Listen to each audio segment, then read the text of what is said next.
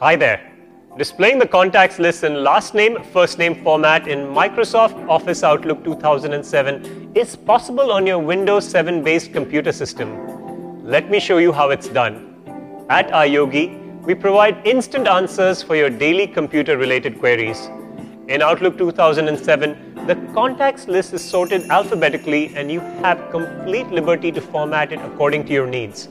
So here's how you can display the contacts list in last name, first name format in Outlook 2007 on your computer. Follow me. Start Outlook. On the Tools menu, click Account Settings. Click on the Address Books tab and click Change.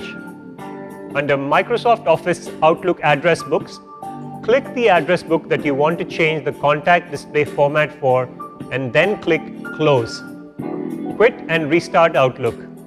To verify the format, click the Tools menu, click Options. On the Preferences tab, and then click Contact Options. In the Contact Options box, click Last First in the default File as Order list. Click OK two times. There you have it. The steps shown in this video can help you in displaying the contacts list in last name first name format in Outlook 2007 on your computer installed with Windows 7 operating system. Now that's called great tech support. At iYogi, we're always here to help you get more out of your PC along with its related software and programs.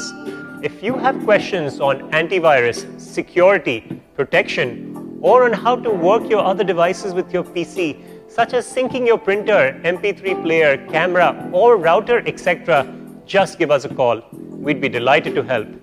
Go ahead, have fun with your PC. Good karma.